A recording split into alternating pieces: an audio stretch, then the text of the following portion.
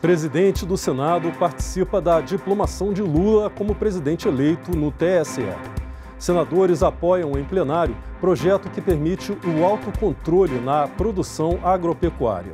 E participantes de debate defendem mais transparência nas pesquisas eleitorais. Boa noite. Hoje é segunda-feira, 12 de dezembro, e o Senado Notícias está no ar.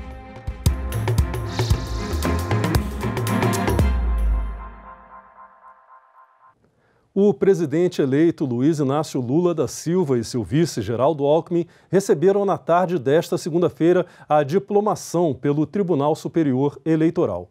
O presidente do Senado, Rodrigo Pacheco, participou do evento. A sessão solene da diplomação marca o fim do processo eleitoral e habilita os eleitos para tomarem posse no dia 1 de janeiro.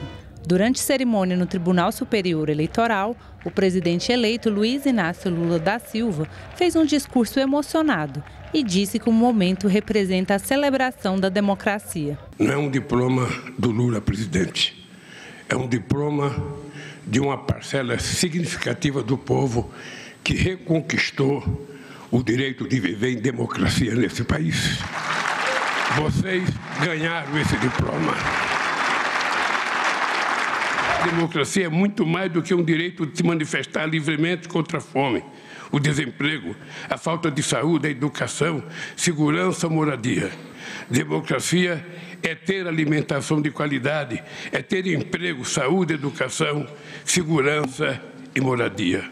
O presidente diplomado também defendeu o fortalecimento das instituições e a harmonia dos poderes. É com o compromisso de construir um verdadeiro Estado democrático garantir a normalidade institucional e lutar contra todas as formas de injustiça que recebo pela terceira vez o diploma de presidente eleito do Brasil em nome da liberdade, da dignidade e da felicidade do povo brasileiro. O presidente do Tribunal Superior Eleitoral, ministro Alexandre de Moraes, falou sobre o significado da diplomação de Lula e do vice-presidente eleito Geraldo Alckmin a diplomação da chapa presidencial eleita, presidente Luiz Inácio Lula da Silva e vice-presidente Geraldo Alckmin, essa diplomação consiste no reconhecimento da lisura do pleito eleitoral e na legitimidade política conferida soberanamente pela maioria do povo brasileiro por meio do voto direto e secreto. Atesta a vitória plena, incontestável da democracia e do Estado de Direito contra os ataques antidemocráticos, contra a desinformação e contra o discurso de ódio proferidos proferidos por diversos grupos organizados que já identificados, garanto, serão integralmente responsabilizados. Alexandre de Moraes também ressaltou o trabalho da Justiça Eleitoral nas eleições, que, segundo ele, soube garantir a estabilidade democrática e o respeito ao Estado de Direito. Estabilidade democrática e respeito ao Estado de Direito não significam ausência de turbulências, ausência de embates, ou mesmo, como se verificou nas presentes eleições, não significa ausência de ilícitos e criminosos ataques antidemocráticos ao sistema eleitoral e à própria democracia. No final da solenidade, senadores comentaram os discursos. Isso é um momento único. Pense num momento que a gente muitas vezes ouve assim: Deus quis que eu estivesse aqui. Num momento como esse, eu diria. O ministro Alexandre fez, sem dúvida nenhuma, um discurso de estadista e de alguém que exerceu um papel insubstituível nessa circunstância. É na democracia que aqueles que vão governar tem que cumprir a vontade do povo. O presidente do Senado, Rodrigo Pacheco, que participou da cerimônia, disse no Twitter que o ato marca o fim do processo eleitoral que refletiu a solidez da democracia brasileira e de suas instituições. Pacheco desejou aos diplomados comprometimento com o Estado democrático de direito e que possam tomar decisões que levem o Brasil ao caminho do desenvolvimento econômico e social. Houve erros de metodologia dos institutos de pesquisas nas últimas eleições. houve intenção em manipular a opinião dos eleitores. Esses foram alguns pontos debatidos nesta segunda-feira na Comissão de Transparência, Fiscalização e Controle do Senado. O autor do requerimento para audiência pública, senador Carlos Portinho, argumenta que os resultados das pesquisas eleitorais demonstraram muita diferença se comparados aos resultados das urnas. O senador informou que alguns institutos chegaram a cometer mais de 18% de discrepância, além da margem de erro. Ele defende a criação de regras com transparência para que o eleitor possa fazer uma escolha mais consciente. Me dirijo não só aos institutos, mas também aos veículos de imprensa na divulgação, no modo de divulgação das pesquisas e na capacidade ou não, vamos discutir, de influenciar o voto do eleitor. Temos que preservar a todo custo o voto. Ele é o instrumento maior da democracia. Portinho lamentou a ausência de alguns convidados, especialmente o Tribunal Superior Eleitoral. É mais um convite feito para que possamos aqui construir a legislação, uma legislação a partir do debate público, da participação dos do setor interessado, da sociedade civil e, especialmente, havia o um interesse na participação do TSE.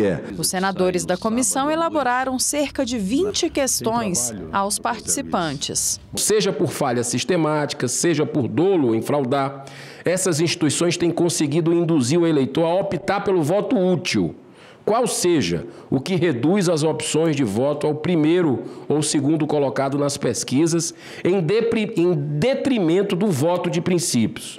O diretor da Futura Inteligência explicou que as pesquisas são feitas para tirar um retrato de momento. Por exemplo, nossa última pesquisa foi divulgada na sexta-feira e nós terminamos o campo dessa pesquisa na quinta-feira. Entre a quinta-feira, quando nós terminamos o campo, e o domingo, dia da eleição, podem ocorrer alguns movimentos, porque eleição aqui vocês sabem muito melhor do que nós, é um processo em movimento. Não foi é, exatamente um ano bom para a indústria de pesquisas, me parece que tivemos, é, tanto no primeiro quanto no segundo turno da eleição, é, para os mais diversos cargos, erros um, em alguns casos grotescos, uh, de muitas das pesquisas que foram divulgadas uh, na mídia nacional. Não foram só institutos de pesquisas eleitorais que estiveram no debate. Esse sociólogo levou contribuições para a redução da desconfiança desses tipos de dados. Primeiro, o TSE carece de um corpo técnico de pesquisadores, estatísticos, cientistas sociais, para criar padrões e auditar empresas e pesquisas registradas. Aí alguém pode falar: não, mas isso aí depende de recurso. Quem sabe uma parceria com o IBGE?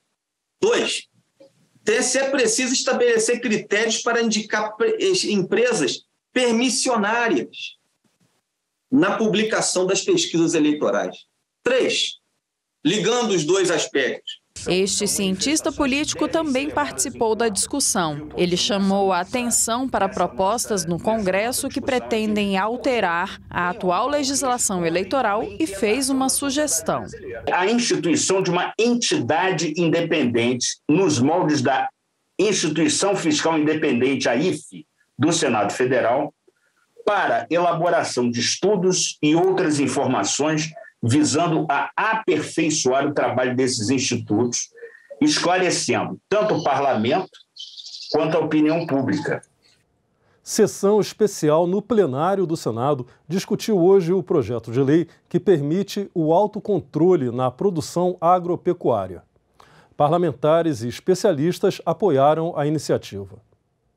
O projeto do autocontrole na produção agropecuária foi aprovado na Câmara dos Deputados. Ele permite que pessoas jurídicas ou físicas sejam habilitadas para criar sistemas de autocontrole e manter seus próprios produtos, rebanhos e lavouras saudáveis. O credenciamento poderá ser feito pelo Ministério da Agricultura ou por outros integrantes do Sistema Unificado de Atenção à Sanidade Agropecuária. O relator da proposta, senador Luiz Carlos Heinze, acredita que o autocontrole pode modernizar o setor. O projeto que aqui discutimos, volto a afirmar, amplamente debatido na Câmara dos Deputados e aqui na Comissão de Agricultura do Senado Federal, coloca o Brasil em igualdade com o mercado internacional. Vários países da Europa, Estados Unidos, Canadá, Nova Zelândia estão usando esse, momento, esse, sistema e soluciona a falta de profissionais na defesa agropecuária. Aprovar esse projeto é abrir novas oportunidades, novos mercados, é garantir mais renda no campo e geração, mais geração de empregos. Mas para o representante do Ministério do Trabalho, a fiscalização sanitária pode ficar enfraquecida com a mudança. O Brasil, como um grande exportador, o seu controle sanitário ele é altamente auditado e referência mundial de atuação. Não, nós não vivemos um problema em relação ao nosso controle. Tirar essa força de um fiscal que tem a estabilidade do emprego, que a pressão que ele pode sofrer é fortalecida pela presença do Estado atrás, para um ente privado que, por mais boa fé que tenha, por mais boa vontade que tenha em atuar, fica sujeito à pressão na sua atuação, é colocar em risco essa, esse parâmetro tão avançado que a gente alcançou. O representante do Ministério da Agricultura esclareceu que o projeto mantém a fiscalização. Então, o projeto de lei não estabelece supressão da fiscalização. Né? A obrigatoriedade de executar os controles sobre o processo produtivo não substitui a atividade de fiscalização. Uma coisa é uma coisa, outra coisa é outra. Um dos elementos de fiscalização e auditoria é a verificação dos registros de autocontrole e da sua execução, conforme descrito nos planos da empresa. O uso de agrotóxicos também foi tema do debate. Para esta nutricionista, o projeto pode enfraquecer a fiscalização e aumentar o uso da substância. Eu ressalto que a minha fala ela não é ingênua a ponto de propor a parada completa desses produtos, mas sim em aumentar a preocupação que temos como governo e sociedade civil sobre os impactos a curto, médio e longo prazo que esses produtos possuem a saúde humana, criando algumas regulamentações que sejam mais rígidas, fiscalizações que sejam mais efetivas e multas que realmente inibam o excesso por parte da indústria. Coisas que o PL não se propõe a fazer. Pelo contrário, enfraquece a ação do governo e deixa a sociedade civil mais vulnerável. O representante do setor de laticínios trouxe um exemplo de como o autocontrole já funciona. Eu quero registrar que o autocontrole para o setor de laticínios já é uma realidade. Né? E desde 2015, com a implementação da inspeção periódica, né, por meio do decreto 8.444. Então, desde aquela época, as indústrias de laticínios já têm que fazer esse procedimento do autocontrole, ou seja, os registros têm que ser auditáveis. Isso é importante de se deixar claro. Na Comissão de Educação, uma audiência pública remota debateu nesta segunda-feira a criação do Dia Nacional do Artista Vidreiro. A iniciativa é prevista num projeto de lei em exame na comissão. Eles estão presentes em nosso dia a dia. Objetos feitos com ele podem ser baratos, mas alguns são caríssimos. Há toda uma arte neles.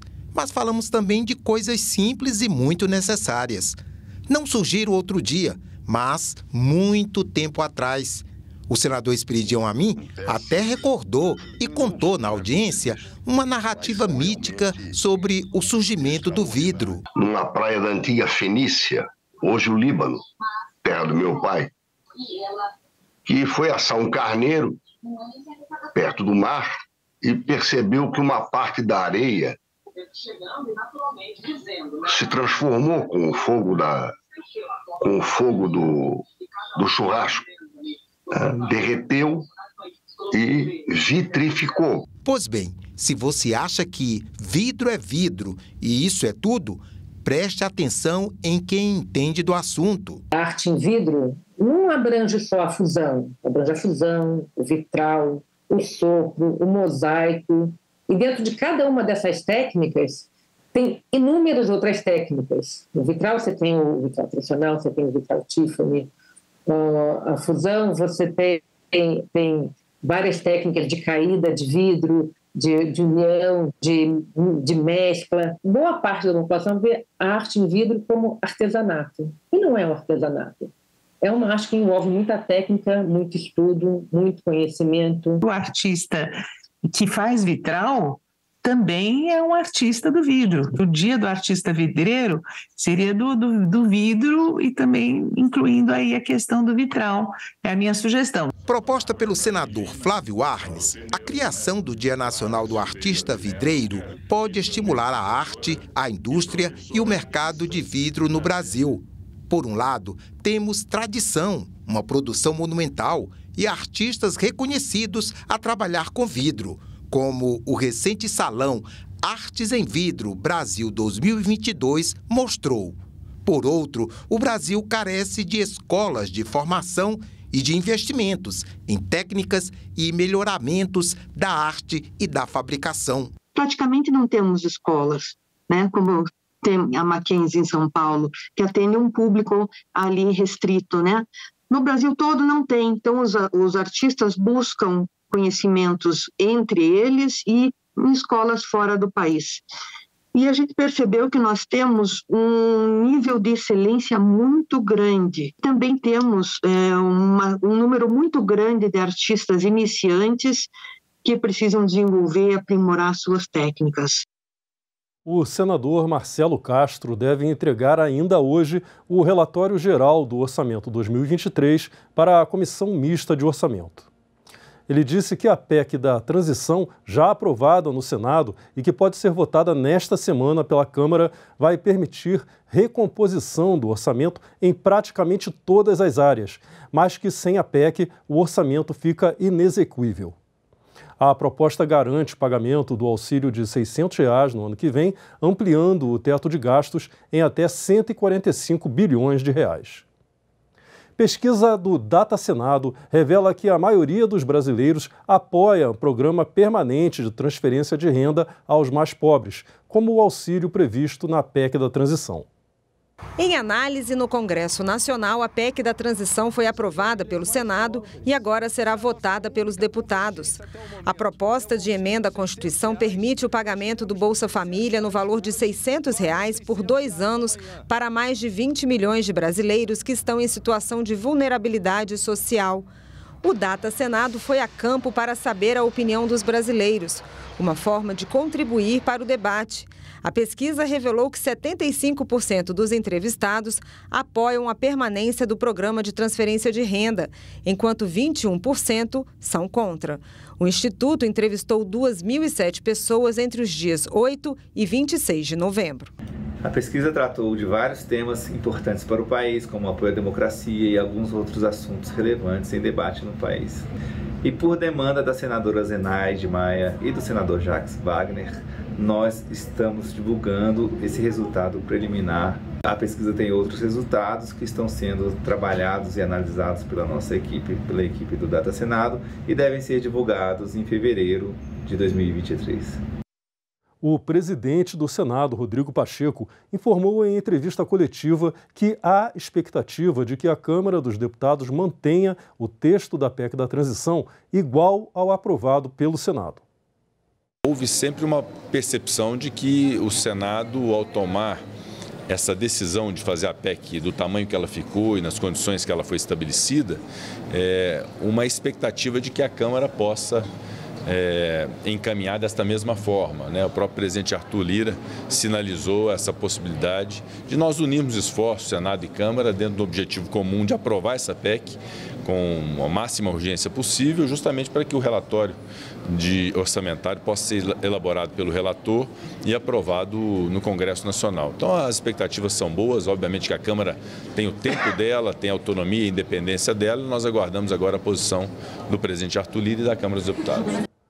Na mesma entrevista, Pacheco comentou o julgamento sobre a constitucionalidade das emendas do relator geral do orçamento. Ele disse que o Congresso está aguardando a decisão do Supremo Tribunal Federal com serenidade. A sessão do STF deve continuar nesta quarta-feira. O Supremo Tribunal Federal tem o papel de julgar aquilo para o qual é provocado, né, e, e foi provocado em matéria das emendas de relator. É, desde o ano passado já vem essa discussão em relação a esse tema, houve inclusive uma decisão do Supremo no passado, houve então é, o restabelecimento das emendas de relator, agora é uma decisão.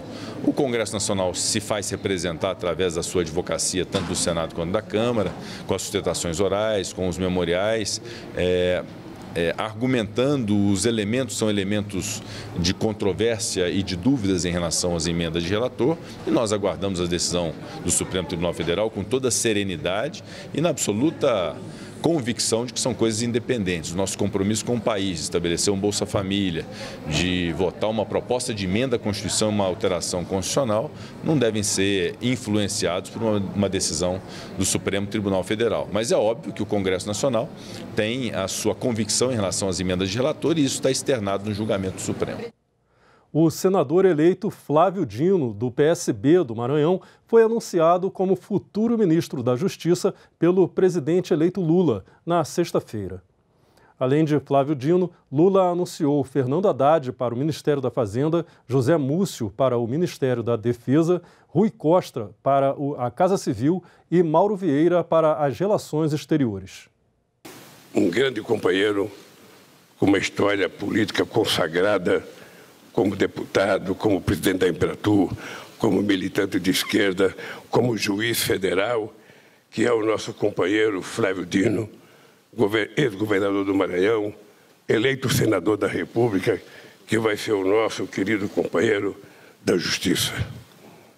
Eu tenho certeza que o Flávio Dino vai ajudar a consertar muitas coisas nesse país registrar, sublinhar que uma das determinações, uma das orientações que ele fixou é de total ênfase à área de segurança pública e, portanto, quero consignar aos policiais, suas famílias, todos os profissionais de segurança pública, que o presidente Lula determinou que na transição e também no exercício do governo nós estejamos muito, muito próximos dos policiais não há nenhuma razão para não haver amplo diálogo com todos os profissionais da segurança pública e isso vai ocorrer por determinação do presidente Lula. Em relação à direção-geral da Polícia Federal, eu levei ao presidente Lula, quando ele me honrou com o convite, é, exatamente nessa direção de trabalho, de proximidade, o nome do delegado Andrei, Andrei Rodrigues, que alguns poderão é, questionar quais os critérios, como houve em relação aos comandantes das forças. E nós levamos em conta, sobretudo, a necessidade de restauração da plena autoridade e da legalidade nas polícias, também a experiência profissional comprovada, inclusive na Amazônia brasileira, uma vez que o delegado Andrei exerceu as suas funções na Amazônia brasileira, que é uma área estratégica para esse governo e, portanto, para a segurança pública. E o delegado Andrei participou do principal nesse momento, que é o diálogo com os estados e municípios, na medida em que ele foi secretário extraordinário de grandes eventos e, portanto, participou da preparação da Copa e da Olimpíada. O presidente eleito Lula toma posse no dia 1 de janeiro e os senadores eleitos vão ser empossados em 1 de fevereiro. Os suplentes de Flávio Dino no Senado são Ana Paula Lobato, do PSB, e Lurdinha, do PCdoB. Amanhã, os senadores se reúnem em plenário às quatro da tarde para votar projetos. Vamos ver aqui no telão o que pode ser votado. O primeiro item é a proposta de emenda à Constituição que autoriza os municípios a reduzir o valor do IPTU para quem adotar ações ambientalmente sustentáveis nos imóveis. Também pode ser votado o projeto que determina que órgãos de segurança pública publiquem mensalmente dados relativos à violência doméstica e familiar contra a mulher. Outro projeto na pauta inclui nos planos de recursos hídricos a promoção de campanhas educacionais periódicas para estimular o uso racional da água. Os senadores podem votar ainda a liberação da autorização eletrônica da saída temporária de veículos de área de livre comércio para circulação dentro do Estado. E ainda um projeto que suspende uma resolução do Ministério da Economia sobre planos de cargos e salários em empresas estatais. E as comissões começam as atividades bem cedo amanhã. Vamos voltar ao telão para conferir a pauta. Às 9 horas, a Comissão de Assuntos Econômicos vota, entre outros, o projeto que atualiza os limites de receita bruta anual para enquadramento no Simples Nacional. Também às 9 horas, a Subcomissão Temporária de Assuntos Sociais das Pessoas com Deficiência apresenta o relatório das ações do colegiado. A reunião da Comissão de Constituição e Justiça está marcada para as 9h30. O primeiro item da pauta cria a Lei de Responsabilidade Social. Às duas horas, a Comissão Mista de Orçamento pode votar o projeto da Lei Orçamentária Anual de 2023. Para as duas e meia está marcada a reunião da Comissão de Transparência, Fiscalização, Controle e Defesa do Consumidor. Os senadores devem votar, entre outros itens, o projeto que atribui natureza de título executivo extrajudicial a acordo celebrado por órgãos de defesa do consumidor. Ficamos por aqui. Você pode rever as reportagens desta edição na nossa página na internet, senado.leg.br/tv. Muito obrigado pela sua companhia e continue sintonizado aqui na TV Senado.